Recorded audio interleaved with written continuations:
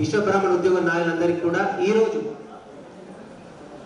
Professor Jayashankar చార్య జయశంకర్ ఆచార్య గారి పేరిట విశ్వస్ఫూర్తి విశ్వబ్రాహ్మణ పిల్లలకు విశ్వకీర్తి విశ్వబ్రాహ్మణ ఉద్యోగులకి ప్రతిభా ఇటువంటి చక్కటి ప్రోగ్రాంలు వీళ్ళు ఆర్గనైజ్ చేస్తున్నారు.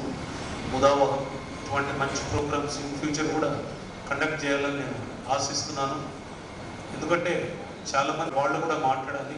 మా మనం మాట్లాడుతుంటే అన్ని ఉపమానాలు ఇంకా శాస్త్రాలు ఆవిర్భావాలు ప్రాశస్తలు ఇవన్నీ కాబట్టి అందరూ కూడా మాట్లాడాలి. తర్వాత ముఖ్యాంశం అవార్డ్స్ ఇవ్వడము ఇవన్నీ కూడా ఉన్నాయి కాబట్టి క్లుప్తంగా ఒకే ఒక్క వర్డ్ చెప్పి నేను విరమిస్తాను. ఇందాక గోపాలకృష్ణ గారు మాట్లాడుతున్నప్పుడు అంటే ఆయన కొంచెం అతిశయోక్తి ఎక్కువ చెప్పారు. అంతేం లేదు. కాకపోతే thirty one years police service అయింది నాది. బేసికల్గా నేను Hyderabad city police officer. And last five six years నుంచి సిరికొండ మధుసూదనాచార్య సార్ నా గాడ్ ఫాదర్. ఆయన బ్లెస్సింగ్స్తో భూపాలపల్లి డిఎస్పీగా రెండేళ్ళు అలాగే రెండున్నర సంవత్సరాలు వనపర్తి జిల్లా డిఎస్పీగా మరి ఇప్పుడు బోధనకి కొత్తగా వచ్చాను. టోటల్గా థర్టీ వన్ ఇయర్స్ ఆఫ్ సర్వీస్లో twenty four years Hyderabad city పోలీస్లో చేశాను. Two times year piece keeping మిషన్స్లో ఫారిన్ సర్వీస్ చేశాను. దాదాపు థర్టీ కంట్రీస్ చూశాను ఈ యుఎన్ మిషన్ కోర్స్లో. సో అదర్ స్టేట్స్లో కూడా నాతో పాటు ఫారిన్లో పనిచేసిన పోలీస్ ఆఫీసర్స్తో ఉన్నటువంటి సత్సంబంధాలు పబ్లిక్ రిలేషన్స్ హెల్పింగ్ నేచర్ ఇవన్నీ కూడా కలిసి నేను మన విశ్వకర్మీయులందరికీ సమస్య వచ్చినప్పుడు పోలీస్ ద్వారా నా ద్వారా ఈ సమస్య సాల్వ్ అవుతుంది అనుకుని నన్ను అప్రోచ్ అయిన ప్రతి ఒక్కళ్ళు కూడా ప్రతిఫలాపేక్ష లేకుండా కొన్ని వేల మందికి సహాయం చేశాను ఇన్ ఫ్యూచర్ కూడా మీకు ఎవరికి కూడా అంటే జనరల్గా నేను ఇలా ఏదో హెల్ప్ చేస్తున్నాను మీరు నా దగ్గరికి రావాలి పోలీస్ సర్వీస్ కోసమని నేను ఎక్స్పెక్ట్ చేయకూడదు తప్పు. ఎందుకంటే మన ఆరోగ్యం బాగాలేనప్పుడు డాక్టర్ దగ్గరికి వెళ్తాం మన హాలత్ ఖరాబ్ అయితే పోలీస్ దగ్గరికి వెళ్తాం. సో మీ హాలత్ ఖరాబ్ కావాలని నేను కోరుకోవట్లేదు. మీరందరూ మంచిగా ఉండాలి హ్యాపీగా ఉండాలి. పోలీస్ వరకు రాకూడదు డాక్టర్ దగ్గరికి పోకూడదని కోరుకుంటూ తప్పనిసరి పరిస్థితుల్లో పోలీస్ సహాయం కావాల్సి వస్తే కిరణ్ కుమార్ ఏసీపీ బోధన్ ఉన్నారని తప్పనిసరిగా ముప్పై దేశాల్లో మీరు పనిచేసిన విధానం సార్ మిమ్మల్ని చూడగానే ఎదుటివంతుడై పోయి తీరాల్సిందే. ఎందుకంటే ఆడిముత్యం ఎప్పుడు నేను ఆడిముత్యానని చెప్పుకో సార్ సూర్యుడు పంచున్నానని చెప్పుకోడు ఆ కాంతినే తెలుసు. మీరందరూ జస్ట్ ఆలోచించండి ఒకసారి. వ్యవసాయం సమాజం అభివృద్ధి క్రమంలో వ్యవసాయం ప్రధాన పాత్ర వహించేది. ఒక రైతు వ్యవసాయం చేయాలంటే నగలి కావాలి. మరి నాగలి ఎవరు తయారు చేస్తారు మీరు గుర్తుపెట్టుకోండి ఫస్ట్ నాగలి కూడా ఎవరు తయారు చేస్తారు? అదేవిధంగా కర్ర విరిగిపోతుంది కాబట్టి దానికి ఒక కర్రు కావాలి. ఆ ఇనుప కర్రు కనుక ఉంటే మీ నాగలతో మనం చక్కగా దున్నుకోవచ్చు. మరి ఆ కర్రును కనిపెట్టింది ఎవరు? తయారు చేసింది ఎవరు? అని చెప్పేసి మీరు ఆలోచించాలి. ప్రతి ఒక్కటి సమాజ ఎదుగుదలలో డెవలప్మెంట్లో ఏవేవైతే మార్పులు వచ్చినాయో సమాజం లోపల ఒక బిల్డింగ్ కట్టాలి. పెద్ద స్ట్రక్చర్ నిర్మాణం చేయాలి. దానికి ఒక వాస్తు కావాలి శిల్పి. మరి ఈ శిల్పి ఎవరు? ఎలా వచ్చారు? శిల్పి అనేటటువంటిది అది కూడా మనం ఆలోచించాల్సిన అవసరం ఉంది ఇవాళ ఎవరు పెళ్ళి చేసుకోవాలన్నా ఒక మెడలో మంగళసూత్రం కావాలా? కనీసం కాళ్ళకి బట్టలు కావాలి. మరి మంగళసూత్రం చేసి ఇచ్చేది ఎవరు? మరి బట్టలు చేసి ఇచ్చేది అంటే సైన్స్ టెక్నాలజీ సమాజానికి టెక్నాలజీ ఇచ్చినటువంటి మనం కానీ సమాజాన్ని ఒక రకంగా ముందుకు నడిపించినటువంటి మనం కానీ ఇవాళ ఆ శక్తిని ఆ యుక్తిని ఆ తెలివితేటల్ని మనం మరింత డెవలప్ చేసుకోవాలి. నేను చూశాను చాలా మందిలో అద్భుతమైనటువంటి తెలివితేటలు ఉంటాయి.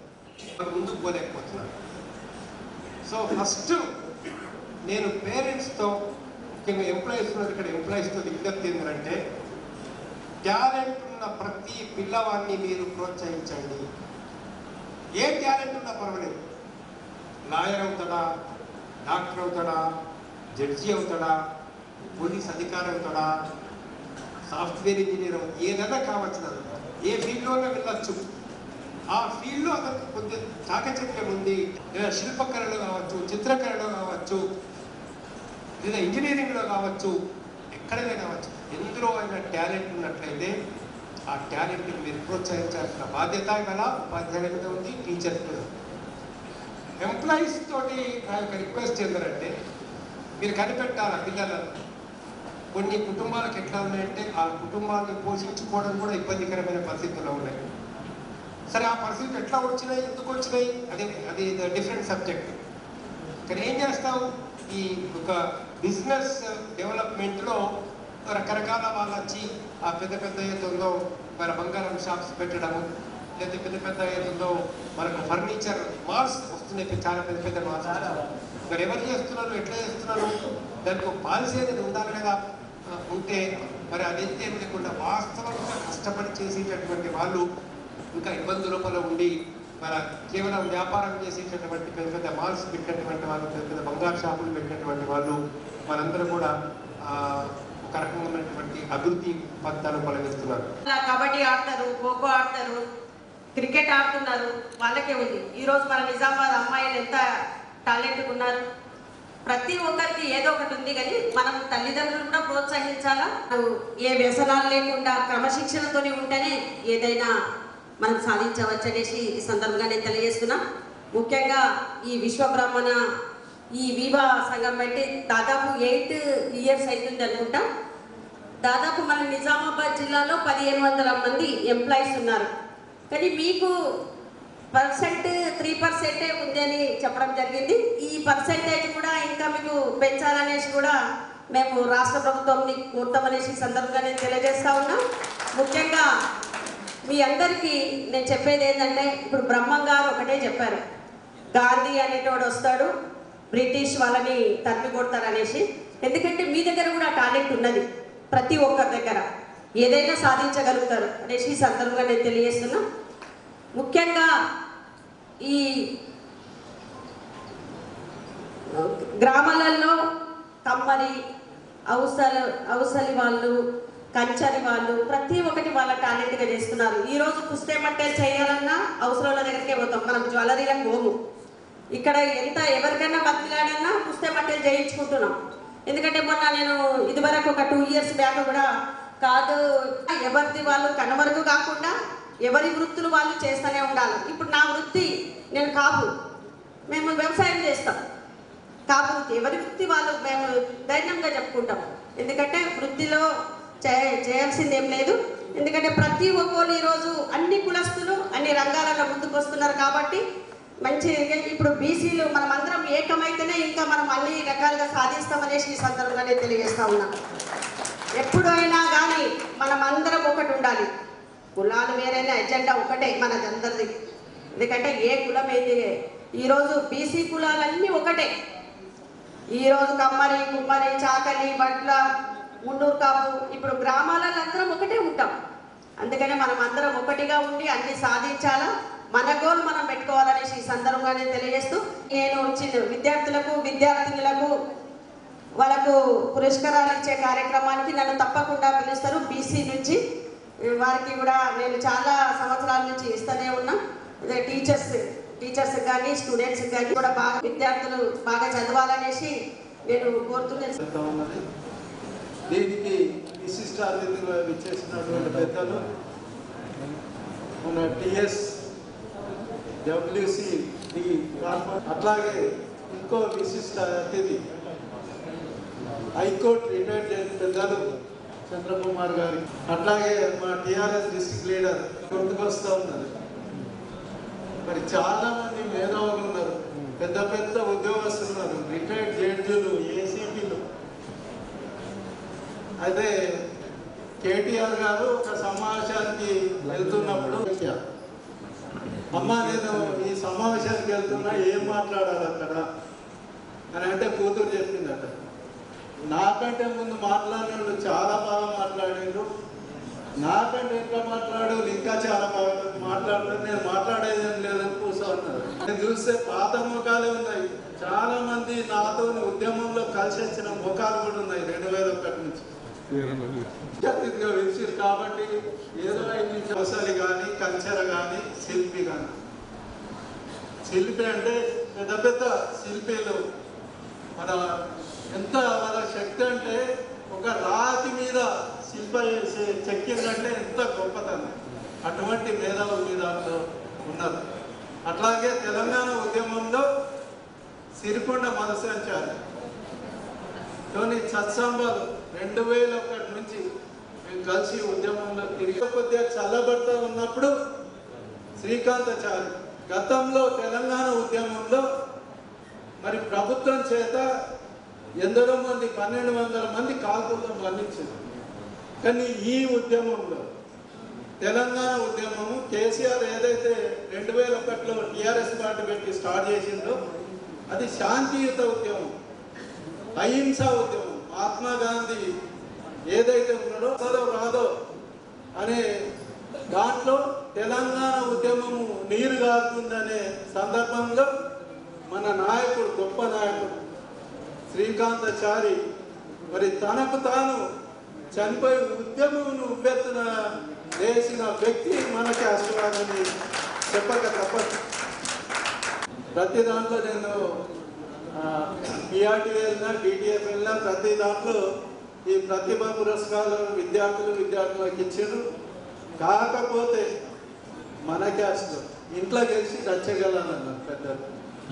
మన క్యాస్ట్ వారికే మనం మంచుకుందాం ఫస్ట్ ఆఫ్ ఆల్ తర్వాత బయటకు వెళ్దామనే ఉద్దేశంతో ఈరోజు మరి జిల్లా విశ్వకర్మ వెల్ఫేర్ సొసైటీ ఆధ్వర్యంలో మరి విద్యార్థి విద్యార్థినులకు అట్లాగే ఉద్యోగస్తులకు మరి ప్రతిభా పురస్కారాలు అందిస్తున్నందుకు మొట్టమొదటిసారిగా జిల్లా మరి విశ్వకమ్మన అధ్యక్షులు మన గోపాలకృష్ణ ఆచార్య గారికి వారి ఆఫీస్ బేరర్స్కి ఎగ్జిక్యూటివ్ కమిటీకి ప్రతి ఒక్కరికి కృతజ్ఞత ధన్యవాదాలు తెలియజేస్తూ ఇందులో ఈ విద్యార్థులు ఇప్పుడు పెద్దలు చెప్పినట్టు కమిట్మెంట్ ఉండాలి సెల్ఫ్ కాన్ఫిడెన్స్ ఉండాలి నీతి నిజాయితీ ఉండాలి ధర్మం ఉండాలి.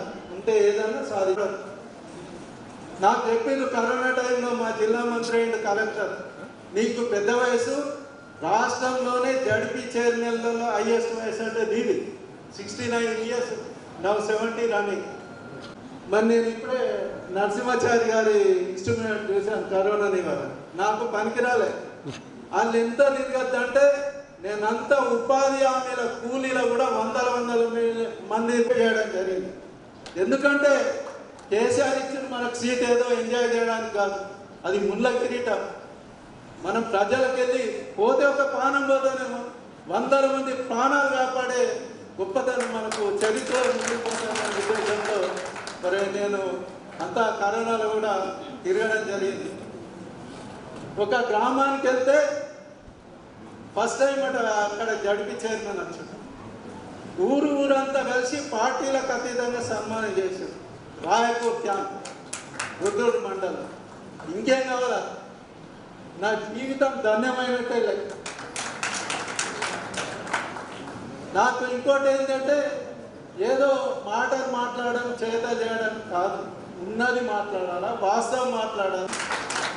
కాబట్టి ఇంత మంచి కార్యక్రమం మీరు మరి రాష్ట్రం లెవెల్లో సుమారుగా ముప్పై వేల మంది ఉద్యోగస్తులు ఉంటే మన జిల్లాలో సుమారుగా రెండు వేల వరకు ఉన్నారు. మరి ఈరోజు చక్కని కార్యక్రమం పెట్టింది. ఎందుకంటే ఎంకరేజ్మెంట్. విద్యార్థులకు కానీ విద్యార్థులకు కానీ రేపు మీరు కూడా మాబోటి ఐఏఎస్ ఆఫీసర్స్ కావచ్చు మాబోటి ప్రజాప్రతినిధులు కావచ్చు. నేను కోరేది ఏంటంటే మిమ్మల్ని అధికారులు officers IAS officers collectors doctors engineers ఎవరు? మీరు అక్కడనే ఎక్కువ శ్రద్ధ చూపాలని చెప్తూ ప్రజాప్రతినిధులుగా తక్కువ ఇంట్రెస్ట్ చూపండి. ఎందుకంటే నేను అనుభవిస్తాను ఒక ప్రజాప్రతినిధి. ఈ సమాజంలో మరి చంద్రకుమార్ గారు చెప్పినట్టు అవన్నీ మీ సమాజంలో పనికొచ్చేటట్టు లేవు. మారాల ప్రపంచం మారాలంటే ఇంకా చాలా మనుషులు మారాలి. ఇప్పుడు ఒక ఫైవ్ టెన్ పర్సెంటే మారింది.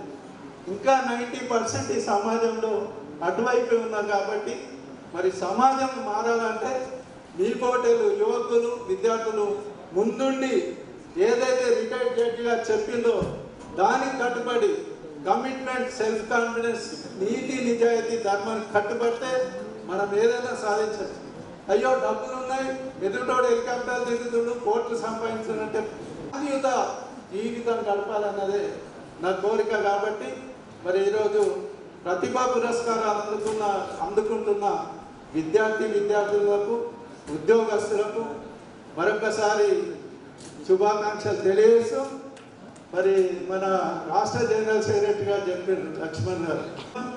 మరి మీకు కోరుకుందంటే హండ్రెడ్ పర్సెంట్ నేను ఏ మీటింగ్కి వెళ్ళినా తొందరగా వెళ్ళిపోవాలనే మెంటాలిటీ కాదు నాకు